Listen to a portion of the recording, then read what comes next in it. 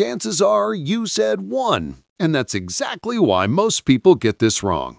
Okay, check out this problem. 15 divided by open parentheses 1 plus 2 close parentheses times 5. Ah, I can almost hear your thought process. Inside the parentheses, 1 plus 2 is 3, then multiply by 5, that gives 15, and finally 15 divided by 15 is 1. Makes total sense at first glance, right? Looks neat and clean on paper. But that's exactly where the trick lies.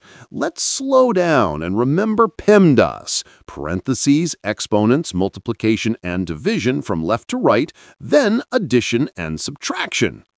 Uh, the key point here is that multiplication and division have equal priority, so we move strictly left to right.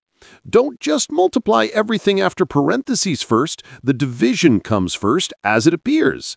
So first, handle the parentheses. 1 plus 2 equals 3. Now the expression looks like 15 divided by 3 times 5. Next, follow left to right for division and multiplication.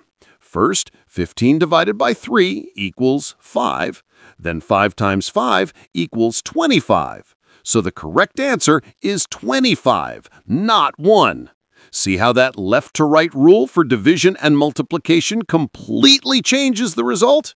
If you have any valid arguments or want to show a different method, write it down in the comments. Thanks for watching.